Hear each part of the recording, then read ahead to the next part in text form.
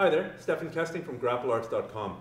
A reader of my email newsletter recently asked me what's the difference between the Brabo choke and the Anaconda choke. And it's an easy area of confusion for a couple of reasons. First of all, not every school does both these chokes. Second of all, there's some different terms and names floating around, so that can make life confusing. Here's the answer though.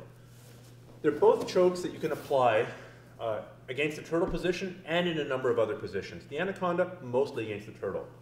So I'm going to teach on my knees. In real life, you'd be up here working it. It's hard for me to teach that way. So essentially, the anaconda, the hand comes past the neck, in front of the chest, and into the armpit.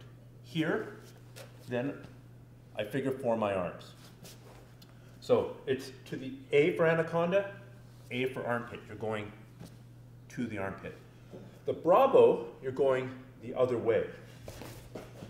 Brabo is uh, you're coming from the armpit and going to the neck.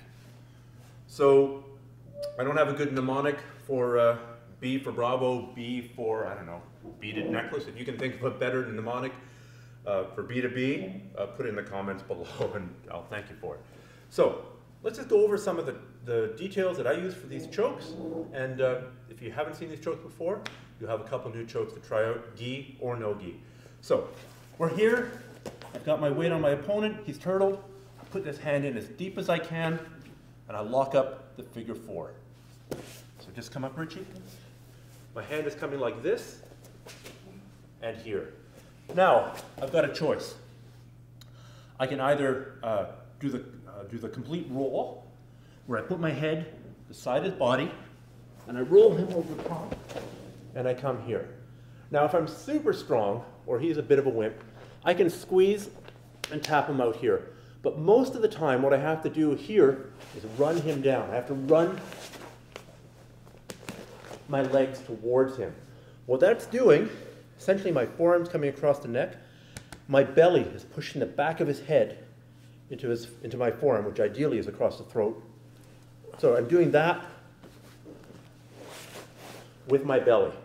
I'm thinking of pushing the back of his head with my belly, and I do that by running forward with my legs, and of course squeezing. Come back here, please. So that's the complete roll. Coming here. Recently, Erik Paulson showed me a simpler version of it, where instead of putting the head to the side and rolling, I just fall over to the side here, and then I run him down again. Same finishing position, different entry. One's a roll, one's a simple fall the other way. Now the Brabo choke, I think, is most typically applied from a half guard position. Richard? You can hit the Brabo from a number of different positions. This would be the most common. We're here in half guard. Richie does the right thing. He's fighting for the underhook. The underhook opens him up to a couple of attacks, one of which is the Brabo. So I'm going to take my hand and come under his armpit. Remember, Brabo goes from the armpit to the neck, to the beaded necklace. I'm coming under here. I'm going to push his head down, and I weasel my hand in as deep as I can.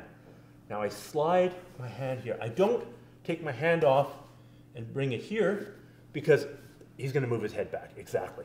So I'm pushing his head in. I'm getting my hand in as deep as I can. Then I slide this forearm across the back of his neck until I lock it up. From here, I stay in the half guard. I rock my weight forward and I squeeze. I rock my weight forward, I squeeze, and he taps.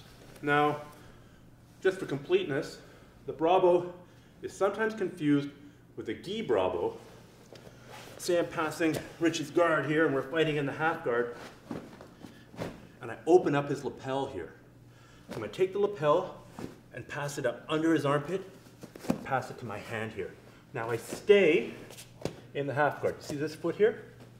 That's keeping him in the half guard. I don't try and pass his guard. It works better from half guard. Once I've got this fed under his hand, under his head, I take my hand and I come here and I grab his lapel, palm up.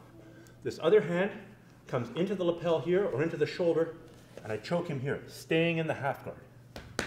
If he brings the other hand up here to push my head or defend, I pull this across, I hug the head, And it's this kind of a terrible position where he's being choked by his own deltoid here and this super tight uh, lapel on the bottom side.